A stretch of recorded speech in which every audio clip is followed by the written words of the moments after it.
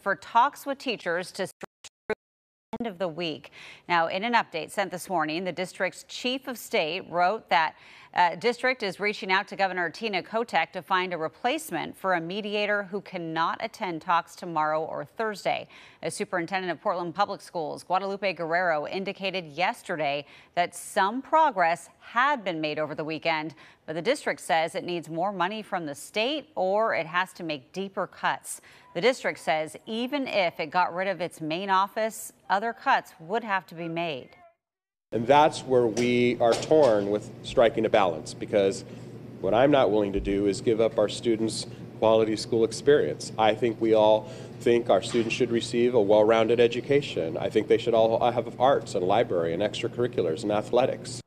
A group of Portland area state lawmakers had a news conference in Salem along with teacher union leaders. They made it clear no more money is coming from the state to fund a strike solution.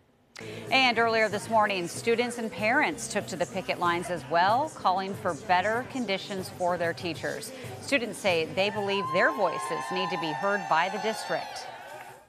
Kids are inside the classroom. Kids see the teachers every day. They see what's going on. We're out here to support our teachers because we really need these funds. We really need the district to say yes to giving us more money to get stuff that we really need. As students we spoke with say they are ready to return back to the classroom.